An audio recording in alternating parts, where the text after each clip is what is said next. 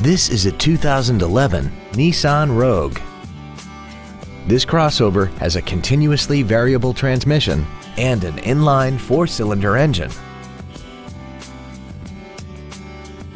Features include traction control and stability control systems, air conditioning, cruise control, side curtain airbags, full power accessories, a rear window defroster, a rear spoiler, an anti-lock braking system, variable valve timing, and this vehicle has less than 31,000 miles.